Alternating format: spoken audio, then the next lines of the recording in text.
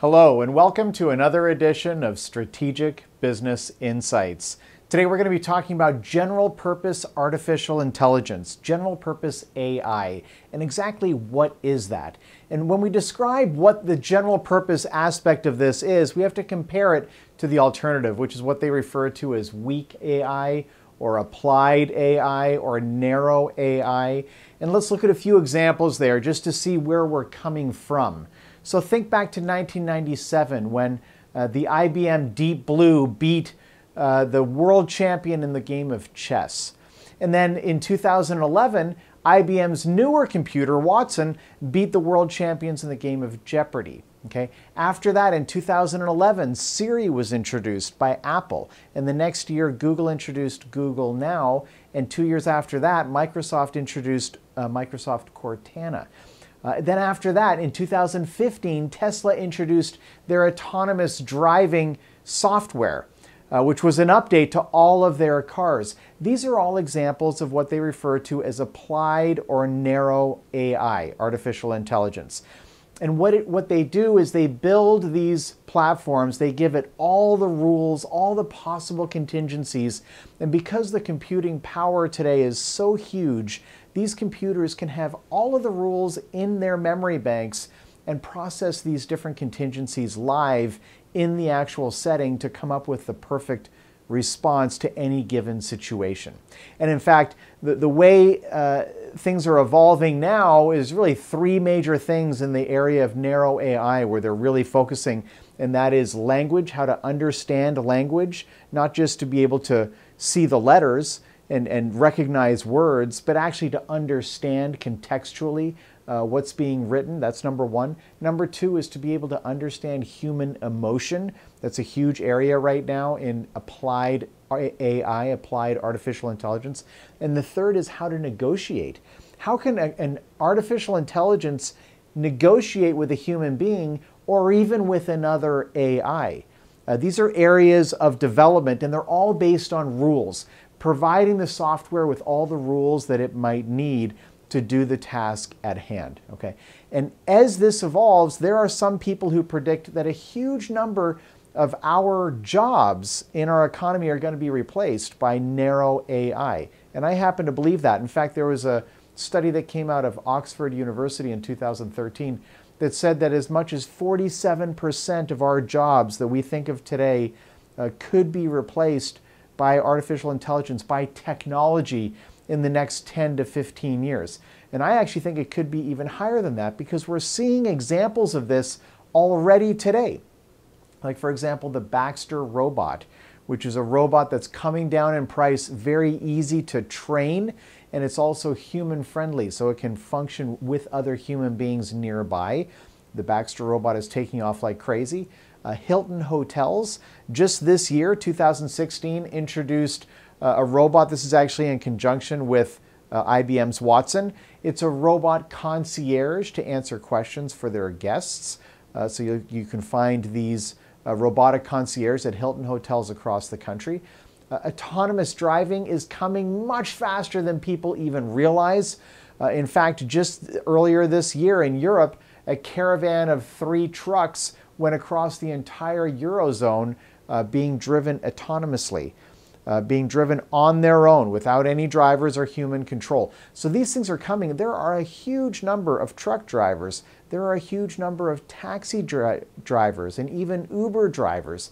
As autonomous vehicles uh, take, take hold, get some traction in our economy, that's going to accelerate dramatically, and there's going to be a lot of people who lose their jobs.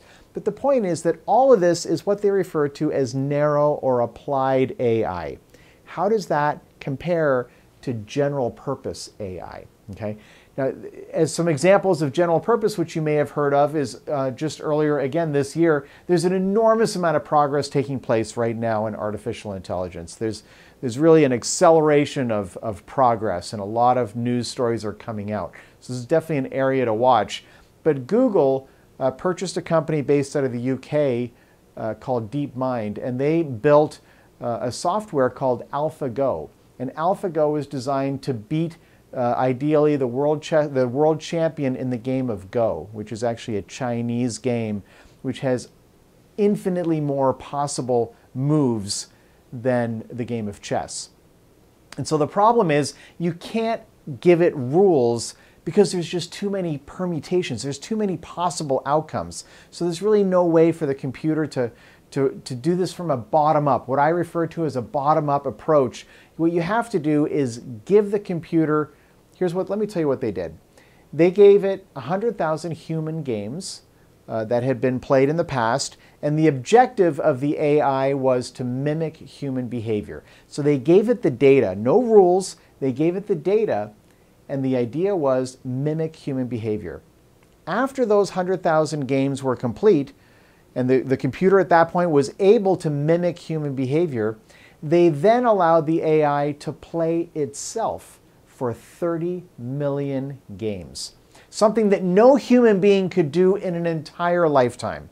But the computer was allowed to play itself, effectively play earlier versions of itself. And the objective was then changed. It was no longer to mimic human behavior. The new objective was to avoid past errors and try to maximize the score.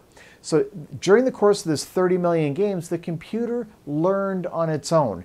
And what we, what we find when we, this has happened in a variety of different cases, these machines learn differently than humans. Uh, so much so that after the process is complete, the developers of the AI no longer understood what the computer was doing, how it was calculating.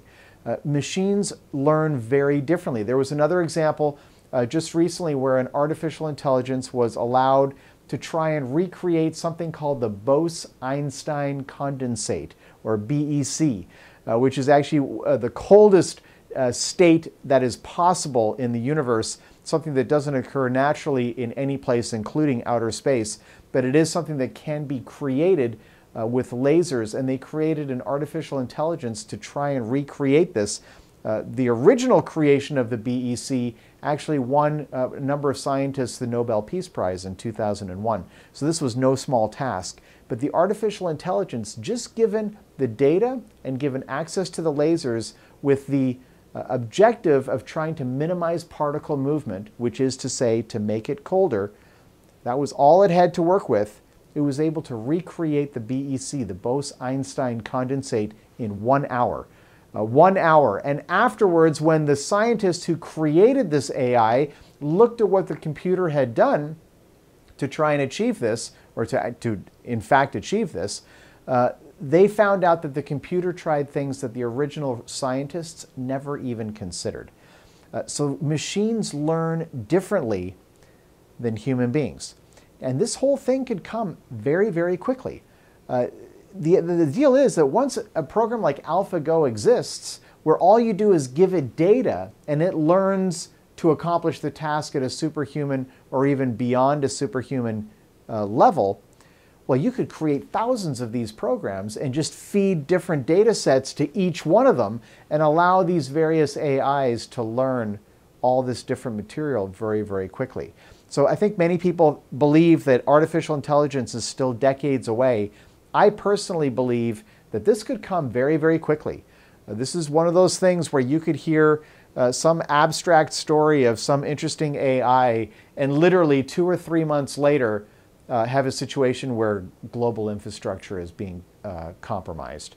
Uh, in theory, this could grow very, very quickly. But the difference that I want to make in this video is between narrow AI, which is based on rules, what I think about as a bottom-up approach, and general purpose AI, where all you give it the, is the data and you allow the machine to learn itself. It's called machine learning. Uh, and it, I view that as kind of a top-down approach. That's just my own metaphor.